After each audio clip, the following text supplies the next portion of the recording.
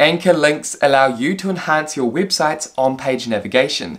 Essentially, anchor links enable you to send your website visitors to specific sections on your website pages. This makes it easier for your visitors to find exactly what they're looking for on your website.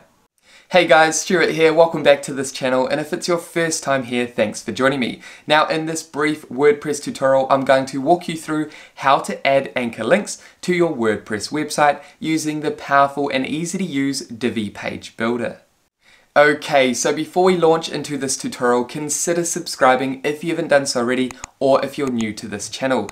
And with that out the way, let's go ahead and add anchor links to your website pages to improve the user navigation. Thank you.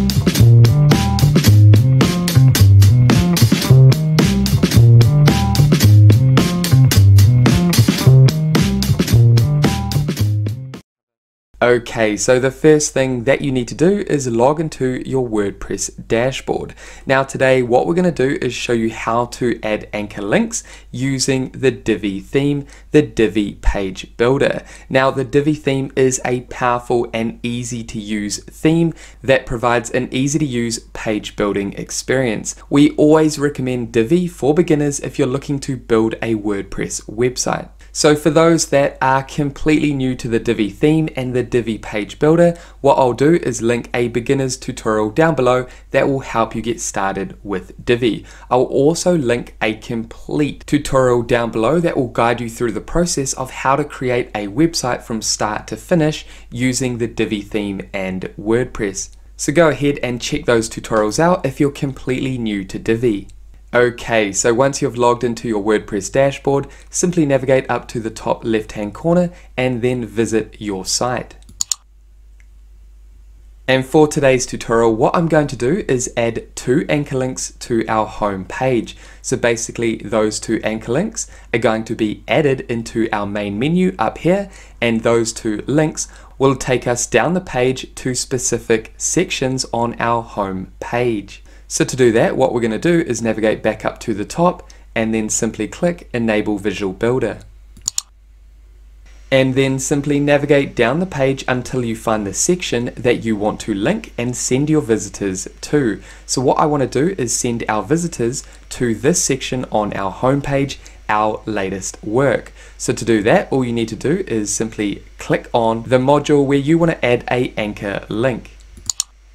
Then simply click on settings and then simply navigate over to advanced over on the right hand side and come down to CSS ID and classes.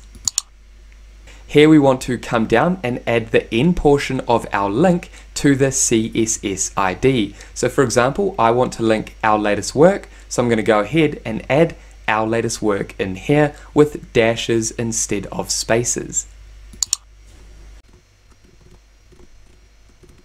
And once you've gone ahead and added your CSS ID, what you want to do is then copy your ID. And then once you've copied your ID, come down and click the green tick. Then navigate down to this purple icon, click here, and then simply click Save Changes. And that's going to save the changes that we've made on our home page.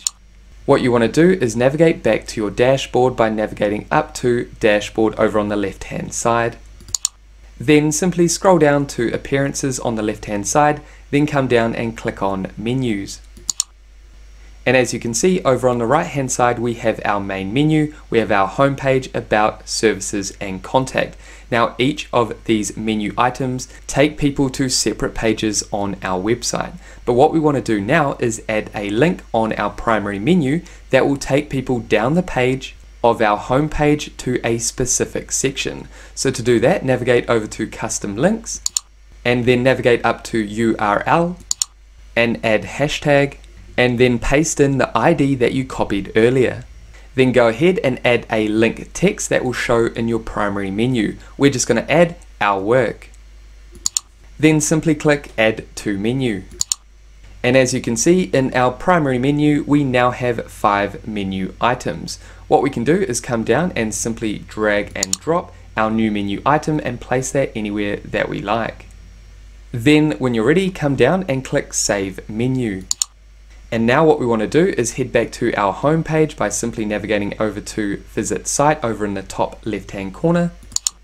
And over in our primary menu, you can now see our new link that we added. If we click our work, that's going to take us all the way down to this section on our homepage, our latest work.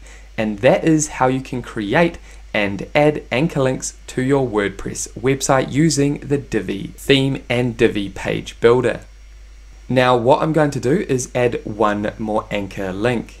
And what I want to do is come down and change this button to book now and that's going to take our visitors all the way down to this book now section. So to do that I'm going to navigate up to the top and then enable visual builder again and this time I can navigate down to this button and click here and then click settings and then simply change the button name to book now then come down to link and this time I'm going to add hashtag book now and now that we've added the button URL we need to go ahead and add the CSS ID down on the page section that we want to link this button to. So come down and click this green tick. Then what I'm going to do is navigate down to the bottom of this website page and then click on this text module here and hit settings, then navigate over to advanced and then CSS ID and classes. Then down here I'm going to add book now. and that is my ID so I'm going to come down and click this green tick and then save changes on this website page. And now let's go ahead and exit out of this visual builder and test our two anchor links that we've just created. Okay, so now if I navigate down to book now and click here, that's going to take the website visitor down to the book now section. And one last time, if we navigate up to our work and click here, that's going to take the website visitor to this section on our homepage. So that is how you can add anchor links to your WordPress website using the Divi theme and Divi page builder. And there we have it guys, that is it for this brief tutorial helping you add anchor links to your website pages. Now if you have any questions about this process, make sure to pop them down below. And with that said, thank you so much for watching this tutorial all the way through to the end. If you got value, make sure you leave a like and subscribe to this channel, and that way I'll see you in the next video. Take care, guys.